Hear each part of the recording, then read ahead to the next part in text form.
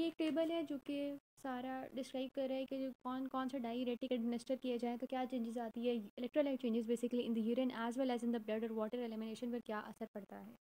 इसके लिए firstly you should know कि कौन कौन से डायरेटिक्स की हम बात कर रहे हैं। डायरेटिक्स किस तरह से बात कर रहे हैं? ये ग्लोमेरुलस हो गया, ये पीसीटी है, ये लूप है, ये डीसीटी है और ये कलेक्टिंग डक्ट है। तो स्टार्ट में पीसीटी पर एक्ट कर रहा होता है कार्बोनिक एनहाइड्रेस इनहिबिटर लूप पर एक्ट कर रहे हैं, लूप डायरेटिक्स, आगे फिर कर रहे हैं थायजेड डायरेटिक्स और एंड पर पोटाशियम स्पीरिंग डायरेटिक्स एक्ट कर रहे हैं। इसी तरह से इनका टेबल बन जाता है। अब स्टार्ट में यूरिन इलेक्ट्रोलाइट्स पर क्या असर होता है?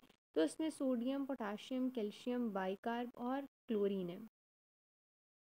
इसके लिए चीज़ें असेंडिंग ऑर्डर में, जबकि बाकियों के लिए चीज़ें डिसेंडिंग ऑर्डर में चल रही हैं। सबसे पहले तो हमने क्या करना है कि फ़र्स्ट और लास्ट में कुछ सिमिलरिटीज़ हैं जो कि फर्स्टली फिल कर देनी है। यहाँ पर पॉजिटिव यूँ डाल देना है और यहाँ पर वो आ जाएगा। जहाँ पर ब्रेकेट है, उसका मतलब है कि स्लाइट यानी स्लाइटली इंक्रीज और ज़ीरो का मतलब है कि कोई चेंज नहीं हो रहा। बाकी फ़र्स्ट में इंक्रीजिंग ऑर्डर है, यानी प्लस प्लस और फिर यहाँ पर तीन प्लस आ जाएँगे।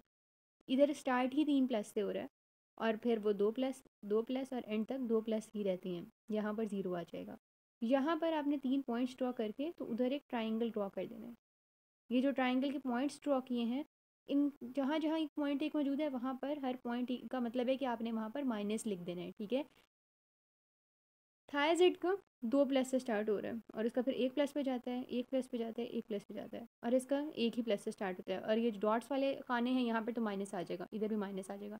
तो ये टेबल फेल हो गया।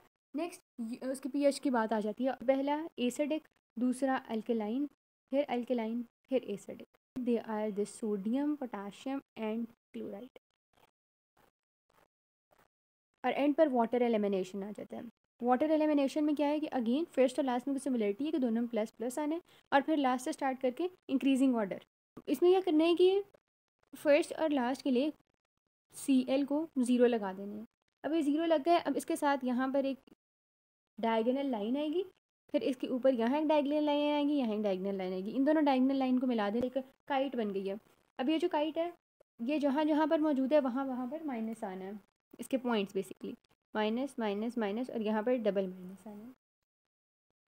इसके नीचे यहाँ पर भी माइनस आना है। बाकी ये जो तीन खाने मौजूद हैं यहाँ पर, इन सब के अंदर माइनस आएगा पर वो माइनस ब्रैकेट में होगा। इधर माइनस ब्रैकेट के साथ ज़ीरो डाल देना है। मतलब ऑन होल आप ये याद रखें कि ये ऊपर वाले जो तीन बॉक्सेस थे, इधर माइनस ब्रैकेट डाल दिया, जो इसके डॉट्स वाले थे खाने वहाँ पर माइनस डाल दिया सिंपल ठीक है, और ये वाला डबल माइनस आ गया। और ये वाली जो दो लाइन एक लाइन हमने लगाई थी, ये जो दो बॉक्सेस रह गए हैं, यहाँ पर दोनों में डबल प्लस डाल देना है, ठीक है?